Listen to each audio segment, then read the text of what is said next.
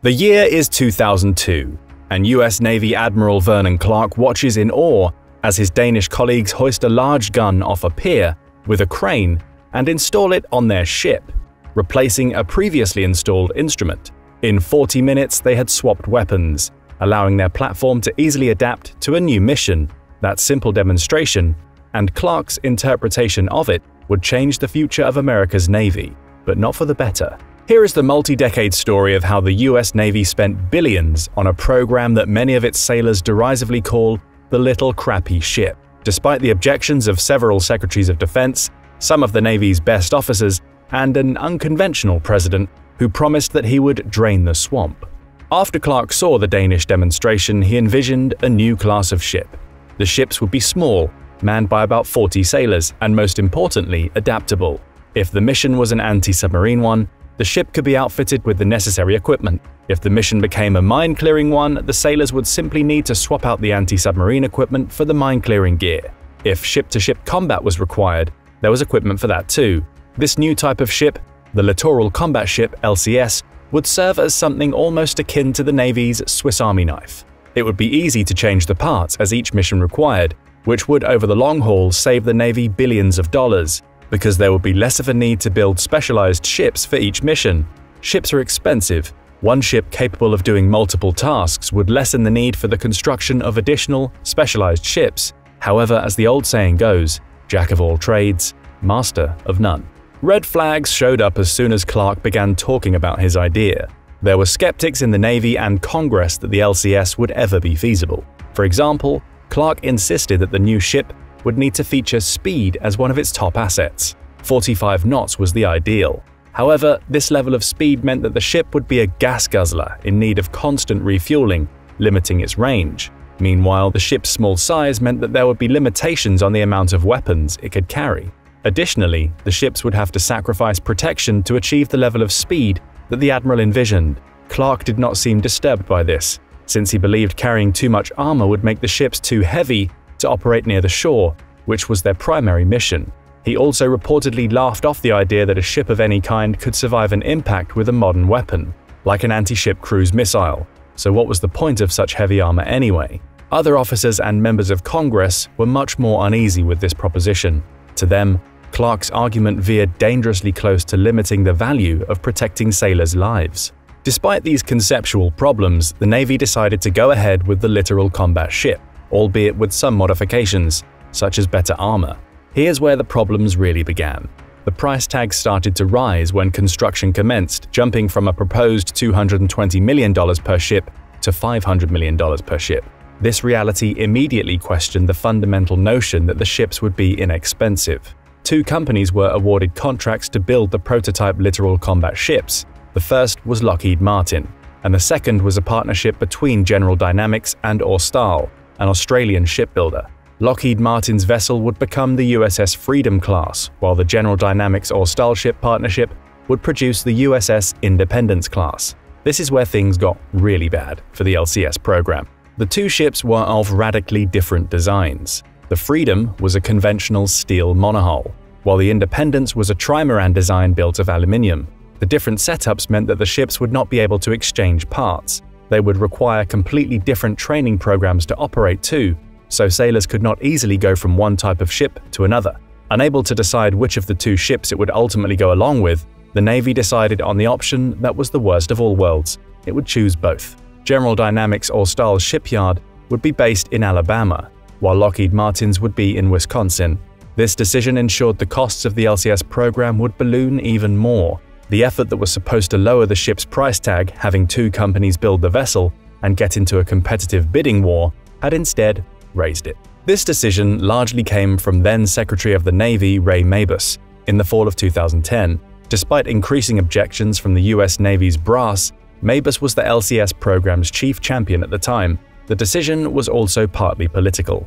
Mabus wanted to win the support of congressional delegations from Alabama and Wisconsin, who would naturally see the program as a source of jobs for their respective constituents. For a former governor of Mississippi, politics was a natural calculation.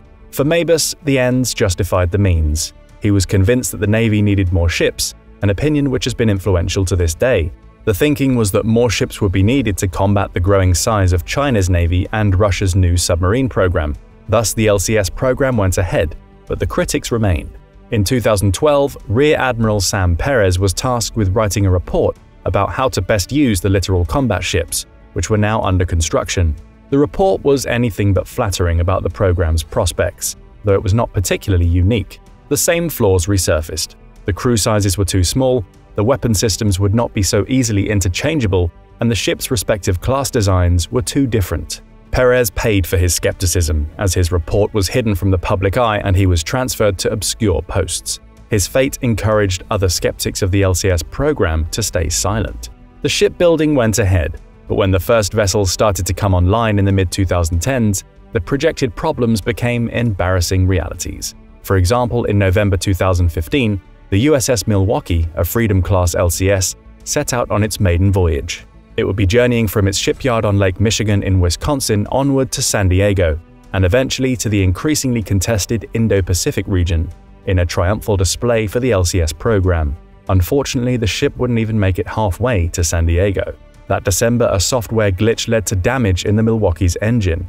The combining gear, a mechanism that connects gas turbines and diesel engines to the ship's propulsion system, was damaged as a result of the glitch, and the Milwaukee needed to be towed into the port at Norfolk, Virginia for repairs. Combining gear failure became a recurrent theme in other Freedom-class littoral combat ships too. In December 2022, the Navy was still negotiating with Lockheed Martin over who should pay what for fixing persistent combining gear problems. As of November 2021, the costs were split 50-50. The Milwaukee's problems were hardly surprising to many officials in the Pentagon, in 2014, then Secretary of Defense Chuck Hagel tried to slow down the LCS program, reducing the number of purchased ships to 32 from 52. In turn, he wanted a new frigate design that would essentially make the LCS useless. But bureaucratic maneuvering ensured he did not succeed. Ashton Carter, who replaced Hagel in the Pentagon's top post, also wanted to reduce the number of LCS vessels to 40 from 52. Mabus again resisted his boss, even as the ships were breaking down in real time. A month after the USS Milwaukee fiasco, the USS Fort Worth, another Freedom-class LCS, suffered mechanical failures. Coming off an otherwise successful exercise in the Indo-Pacific region, the Fort Worth saw hundreds of gallons of fuel leak into its main machine room. The sailors aboard the ship needed to spray a chemical foam onto the fuel to prevent fires from breaking out. After that, they had to struggle in filth to clean up the mess, often in tight spaces with rags and pumps, according to a report in ProPublica. A week later, when the Fort Worth docked in Singapore, the crew discovered numerous other leaks, and the engines and electrical generators needed heavy maintenance. The already exhausted crew needed to work even harder. Pressure from upstairs mounted for the Fort Worth to be ready to visit Hong Kong on January 12, 2016, but there was another combining gear failure. The Fort Worth was unable to complete the rest of its mission. A third embarrassing failure for the LCS program would occur six months later. In July 2016, the USS Freedom, the ship that gave its name to the class, also suffered an embarrassing failure. The day before it was set to take part in a high-profile exercise that officials saw as crucial for the reputation of the LCS program. Unfortunately, the ship couldn't even leave port due to a different type of engine failure than that seen on the Milwaukee months earlier. This time, a cannon plug malfunctioned. Without it, the ship's complicated engine could not work. A replacement cannon plug needed to be driven in from an hour north of Las Vegas through civilian traffic. Then, when the ship was finally departed on the night of July 11th, a leak inside the main machine room sprayed sensitive electronic equipment with seawater. When sailors on board finally managed to plug the leak, this too backfired. As the water was diverted through the seal that was supposed to keep it out of the ship's oil lubrication system, the water mixed with the oil to produce a sludge that went through one of the ship's engines the ship was forced to return to San Diego. To ensure that the Freedom could participate in that year's Rim of Pacific RIMPAC exercise, the naval brass determined that the ship would be able to use its three remaining engines if a special rinse was used to block further corrosion. After the failures of the Milwaukee and another ship, the Fort Worth, which had sprung leaks in an earlier exercise, the political pressure for Freedom to participate in the RIMPAC exercise was immense. The Freedom was able to do this, detecting water mines, but in the process, its engine was so damaged that it needed to be docked for repairs for two years. Repairs on the LCS program have also been complicated, as the military contractors that built them consider much of its components on the ship as their exclusive intellectual property. This legal distinction limited the extent to which sailors could repair the ships, and instead required specialist employees from the companies to do what sailors were not permitted to. These people needed to be flown out to the damaged ships, adding to the costs and time delays of the already troubled program. The weapons and equipment on board the LCS vessels have fared little better than their mechanical conditioning. The highly touted anti-submarine warfare capability of the LCS proved so ineffective that the Navy cancelled that part of the program entirely in 2022. The sonar equipment the ship dragged through the water couldn't communicate with the ship's other systems, and the Freedom class of LCS was found to be too loud to effectively pursue an anti-submarine mission. The anti-mine system experienced similar failures. In March 2016, the remote mine hunting system had to be cancelled after 15 years and $700 million invested. The system frequently returned false positives and proved difficult for sailors to operate. The Navy turned to different ways to hunt mines, such as the Airborne Laser Mine Detection System and the Airborne Mine Neutralization System, these systems can be deployed from an LCS, as seen in a 2019 exercise in the Baltic Sea. Still, this was an almost Hail Mary effort for the struggling program, as the Navy is now looking for a new systems-based approach to anti-mine operations that involve mostly unmanned aerial, surface, and undersea assets, drones. So even if some of the drones can be deployed from an LCS, it's far from certain that the vessel is needed for the mission it was supposed to be such an integral part of. The LCS program reportedly caused as much damage to the morale of its sailors as it did to the ships of the US Navy.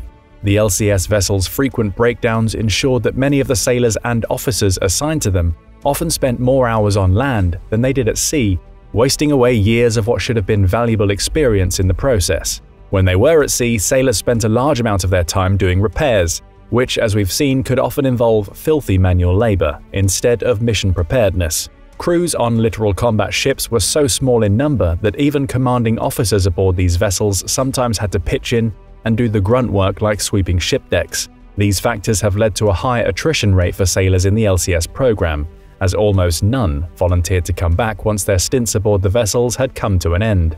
By the end of the Obama administration, the problems in the LCS program had become so apparent and overwhelming that many observers in Washington expected the incoming Trump administration to finally end it. After all, President Trump had campaigned on draining the Washington swamp. This did not turn out to be the case. By 2017, the Navy's focus was on building the new type of frigate that Hagel had originally proposed three years earlier. With this new focus in mind, the Navy had requested only one new LCS to be delivered for the year 2017. However, the Navy would not get its wishes, despite the Trump administration's skepticism to the LCS program. When she heard that the LCS program might be scaled back in 2017, Senator Tammy Baldwin, DWI, wrote a letter to Trump on May 12th of that year, reminding him that he had promised to expand the Navy's size to 350 ships.